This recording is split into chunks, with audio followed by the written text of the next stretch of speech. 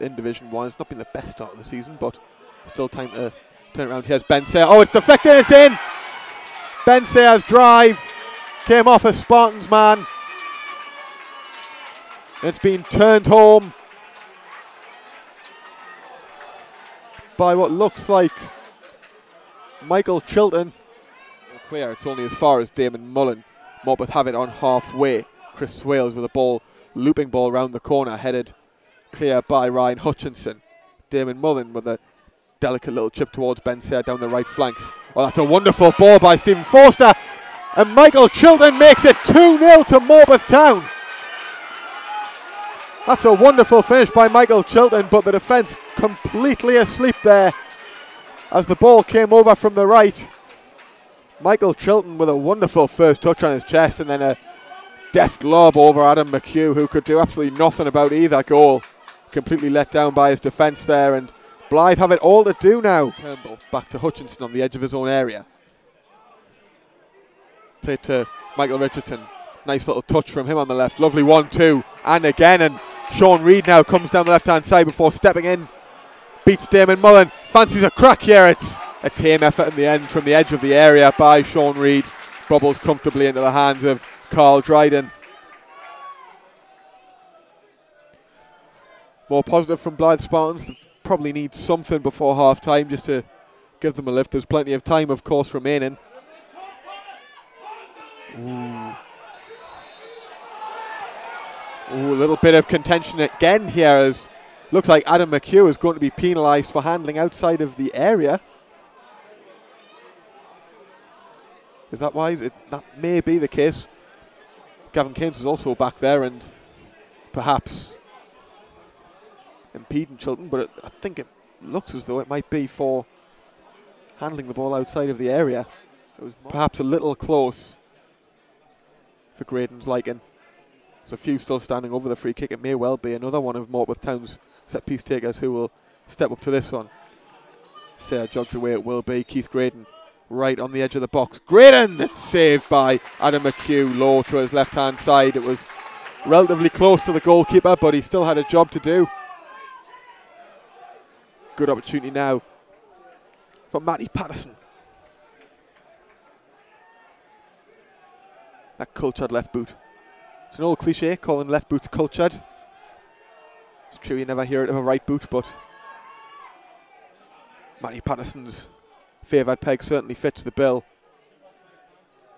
Can he swing this into the top bin? Here is Patterson. He tries to play it low and it's very tame and it's straight into the wall.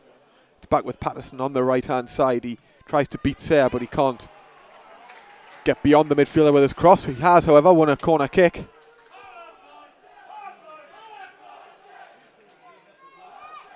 Very pleased to hear the crowd, despite being 2 0 down here, are getting behind the Spartans as Patterson swings in. Sean Reid with a header. Just over the bar. Excellent turning. Robinson carries the ball away. Ben Sayer evades the challenge of Hutchinson, flicks it out wide. Space here in the box for Luke Carr. Carr shuffles in, it's Luke Carr, it's 3 0. Morpeth Town have scored a third goal at Croft Park.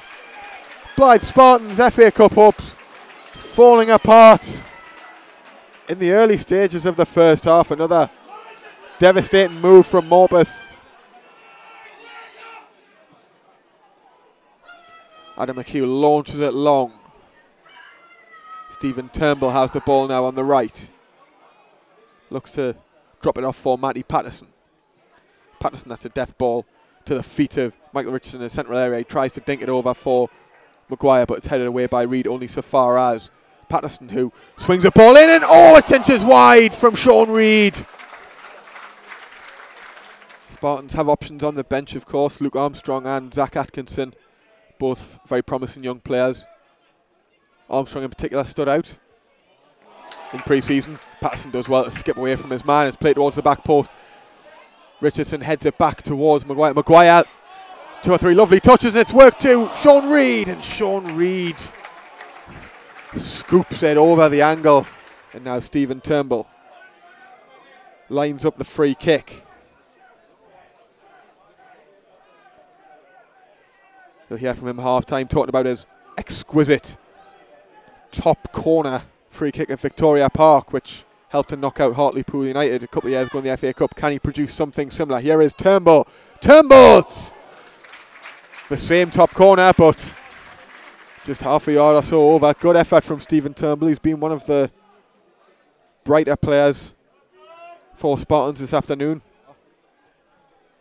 Yes, Stephen Turnbull with the corner. Hutchinson can't quite get the head out, but it breaks for Hutchinson. It's blocked. Richardson blocked again. Back out to Stephen Turnbull. Chips it towards the middle, and there it is. It's Dan McGuire. Blyth Spartans have a route back into this tie. Daniel McGuire pulls the goal back for Blyth Spartans. Stephen Turnbull dinks the ball back into the area at the second time of asking after Richardson and Hutchinson saw shots charged down. And he floated it perfectly onto the head of Dan Maguire, who gets his ninth of the season in all competitions. That could well be the most important should Blyth Spartans get their way back into this. Uh, swung in from the right, and it's another good header, and Sean Reid, it bounces wide of the near post. Headed into the ground, good effort from Sean Reid. Not far away from reducing the deficit to just the one goal. Find the feet of Say that's a wonderful through ball.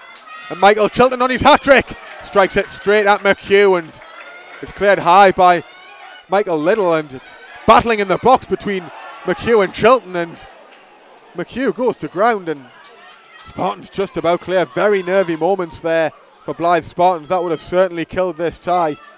Canes and now Alex Nicholson has a little bit of space if he wants to go down the right. Instead, he chooses to come inside, and he could latch onto this.